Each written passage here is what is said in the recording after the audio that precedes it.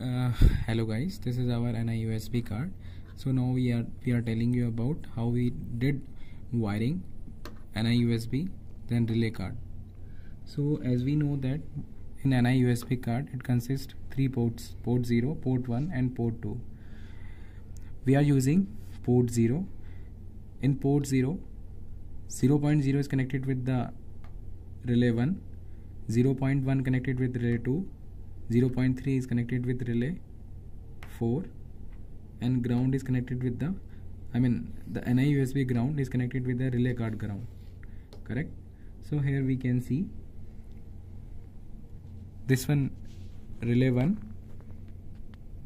relay 2 3 4 5 6 7 8 so out of 8 relay we are using only 4 relay. And this is the source section. In source section we are connected ground and VCC so VCC is connected with the power supply and the ground is also going to connect with the power supply only. In the next section this is our output relay cards. In output relay card the R1 relay 1 is connected with the red one the relay 2 is connected with the yellow relay 3 is connected with the green one and ground is connected with the ground. And in the relay card the common is connected with the 24 volt supply to power on the complete section. Now guys we will understand relay concept. As we know that relay working principle is electromagnetical. Relay 1 relay 2 relay 3 and relay 4 so in our project out of 8 relay we are using only 4 relay. In relay number 1 we are having some section like NO normally open NC normally connected common and coil section. Relay 2 similarly we also having NO NC common coil section. Similarly in relay 3 as well as in relay 4 section. Now in relay 1 common point is connected with 24 volt supply.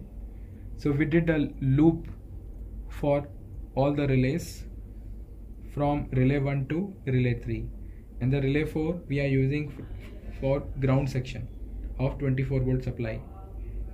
Coil section from NI USB port 0 is connected with the coil 1 port 0.1 is connected with the coil 2 port 0.2 is connected with the relay 3 port 0.3 is connected with the relay 4 section and the ground is common section for all the coils.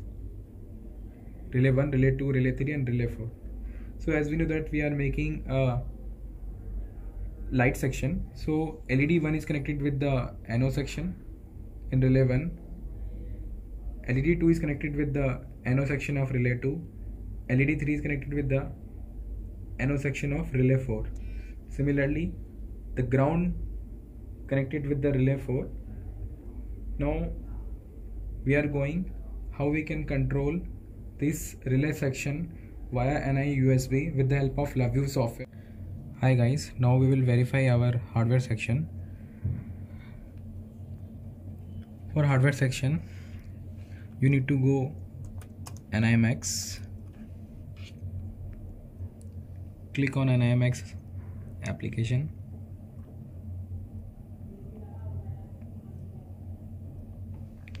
in NI MAX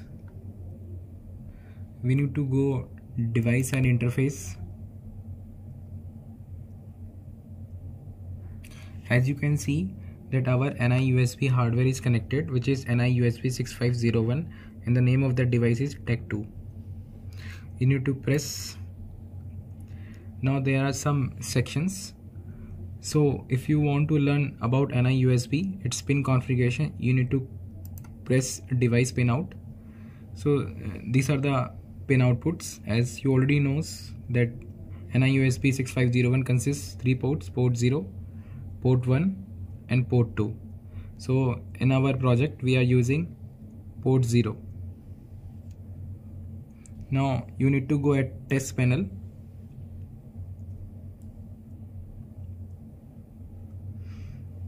in this section as you can see there are three ports 0 1 and 2 we are using port 0 as we know that we can use DIO digital input output. So our hardware is act as an output. We need to click at all output. Then you need to press start button.